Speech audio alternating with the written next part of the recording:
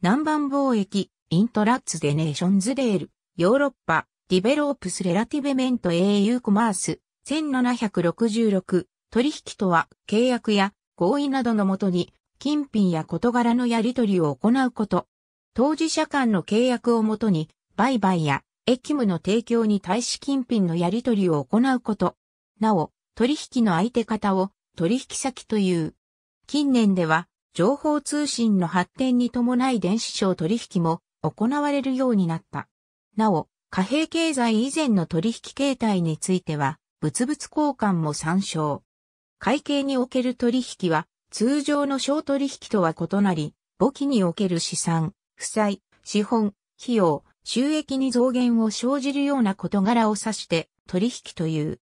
例えば、ある物品を売買するという契約をした場合、契約をしただけでは会計における取引には該当せず、実際にその物品が届いて、その代金を現金払い、または買掛金とする段階で会計上の取引とする。